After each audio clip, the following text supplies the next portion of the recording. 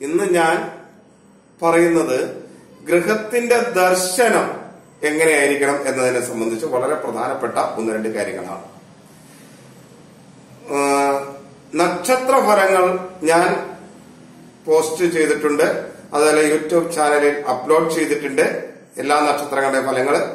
നാളെ അശ്വതി ഭരണി കാർത്തിക എന്നീ നക്ഷത്രങ്ങളുടെ ഫലങ്ങൾ നാളെ ഞാൻ യൂട്യൂബ് ചാനലിൽ അപ്ലോഡ് ചെയ്യും ഫേസ്ബുക്ക് പേജിൽ പോസ്റ്റ് ചെയ്യും.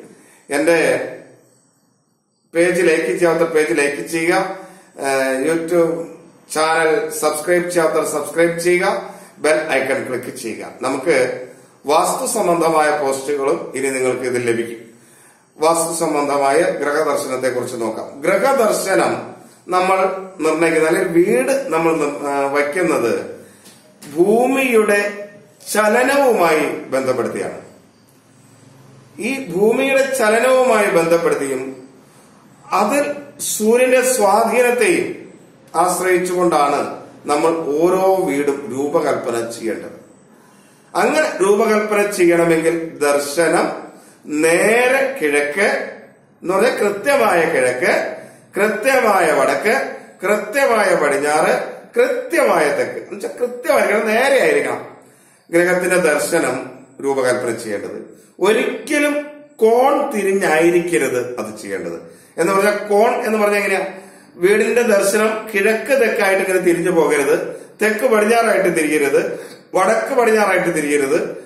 വടക്ക് കിഴക്കായിട്ട് ഇങ്ങനെ കോൺ തിരിഞ്ഞ് ഇരിക്കുന്ന ഒരവസ്ഥ ഗ്രഹത്തിന് ഉണ്ടാകാൻ പാടില്ല. ഏറ്റവും പ്രധാനമായി ചിന്തിക്കേണ്ട കാര്യം അതാ. പല സ്ഥലങ്ങളിലും റോഡ് പോകുന്നത് ഒക്കെ ഇങ്ങനെ കോൺ തിരിഞ്ഞ ദിക്കുകളിലൂടെ ആയിരിക്കും അപ്പൊ റോഡിന് മുഖമായിട്ട് വച്ചാൽ വീട് ചിലപ്പോ കിഴക്ക് തെക്ക് ഭാഗത്തേക്ക് തിരിഞ്ഞോ തെക്ക് പടിഞ്ഞാറ് ഭാഗത്തേക്ക് തിരിഞ്ഞോ വടക്ക് പടിഞ്ഞാറ് ഭാഗത്തേക്ക് തിരിഞ്ഞോ അല്ലെങ്കിൽ വടക്ക് കിഴക്ക് ഭാഗത്തേക്ക് തിരിഞ്ഞോ ഒക്കെ ആയിരിക്കും. ഇരിക്കണം അങ്ങനെ ഒരു കാരണവശാലും ഗ്രഹത്തിന്റെ ദർശനം നിങ്ങൾ രൂപകൽപ്പന ചെയ്യരുത്. അത് വാസ്തുശാസ്ത്രം അംഗീകരിക്കുന്നില്ല എന്നർത്ഥം. പിന്നെ ഒരു കാര്യം ഓർക്കുക ഗ്രഹം പണിത് കഴിഞ്ഞാൽ പിന്നെ അതിനകത്ത് ഒരു പണി എടുക്കുക അതൊന്ന് മാറ്റുക എന്നൊന്നും പറഞ്ഞാൽ പറ്റില്ല. അത് വളരെ പ്രയാസമാണ്. പ്രത്യേകിച്ച് ദർശനം ഒരിക്കലും മാറ്റാൻ പറ്റില്ല. അതുകൊണ്ട് വീട് പണിയുന്നതിന് മുമ്പ് തന്നെ ഈ വക കാര്യങ്ങളിലെല്ലാം വളരെ ശ്രദ്ധ വീട് പണിയുന്നവർക്ക് ഉണ്ടാകണം. അത് വീട്ടുകാർ തന്നെയാണ് തീരുമാനിക്കേണ്ടത്. ഞങ്ങളാണ് അതിനകത്ത് കിടക്കുന്നത് എന്ന് ആലോചിക്കും ഞാനത് പറയാൻ കാരണം ഭൂമിയുടെ ചലനമായി ബന്ധപ്പെടുത്തിയാണ് എന്ന് നമ്മൾ പറഞ്ഞു. നമ്മൾ ട്രെയിനിൽ യാത്ര ചെയ്യുകയാണെന്ന് വിചാരിക്കുക. ട്രെയിനിൽ യാത്ര ചെയ്യുമ്പോൾ ട്രെയിൻ യാത്ര ചെയ്യുന്നതിന് മുഖമായി നമുക്ക് ഇരിക്കാൻ പറ്റും. അതിന്റെ ഓപ്പോസിറ്റ് ആയിട്ട് നമുക്ക് ഇരിക്കാൻ പറ്റും. ശരിക്കും നമുക്ക് എങ്ങനെ ഇരിക്കുന്നതായിരിക്കും സുഖം? ആ വാഹനം പോകുന്ന അതേ ദിക്കിലേക്ക് വാഹനത്തിൽ ഇരിക്കുന്നതായിരിക്കില്ലേ സുഖം? അതുപോലെ തന്നെയാണ് ഈ വീടും.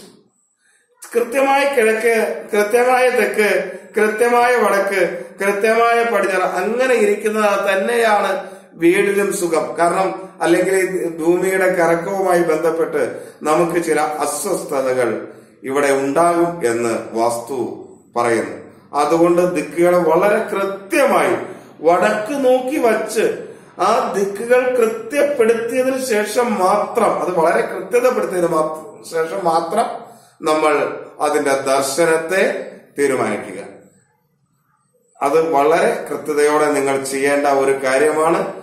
ആ ഭൂമിയുടെ കറക്കവുമായി ബന്ധപ്പെട്ടാണ് ചെയ്യേണ്ടത്. അതേപോലെ ഒറ്റ ഗ്രഹം പണിയുകയാണെങ്കിൽ സാധാരണ ഇപ്പോൾ പണിയുന്ന ഒറ്റ ഗ്രഹമാണ്. നാല് ഘട്ടമൊന്നും അല്ല പണിയുന്നത്. അങ്ങനെ ദ്വിഗ്രഹമോ ഒന്നും അല്ല നമ്മൾ പണിയുന്നതെങ്കിൽ ഒറ്റ ഗ്രഹം പണിയുകയാണെങ്കിൽ അതിന്റെ ദർശനം കിഴക്കോട്ടോ വടക്കോട്ടോ ദിക്കായി വരാൻ പ്രത്യേകം ശ്രദ്ധിക്കണം. കിഴക്കോട്ടോ വടക്കോട്ടോ അതിന്റെ ദർശനം വരുന്നതിന് പ്രത്യേകം ശ്രദ്ധിക്കണം. ഇതാണ് ഇന്ന് എനിക്ക് പറയുവാനുള്ളത്. വാസ്തുവിനെ സംബന്ധിച്ചുള്ള കൂടുതൽ പോസ്റ്റുകൾ വരും ദിവസങ്ങളിൽ നിങ്ങൾക്ക് ലഭിക്കും. അത് ലഭിക്കുന്നതിന് വേണ്ടി ഫേസ്ബുക്ക് പേജ് ലൈക്ക് ചെയ്യുക യൂട്യൂബ് ചാനൽ സബ്സ്ക്രൈബ് ചെയ്യുക ബെൽ ഐക്കൺ ക്ലിക്ക് ചെയ്യുക. എല്ലാവരെയും ഈശ്വരൻ അനുഗ്രഹിക്കട്ടെ എന്ന് പ്രാർത്ഥിക്കുന്നു. എല്ലാവർക്കും നമസ്കാരം.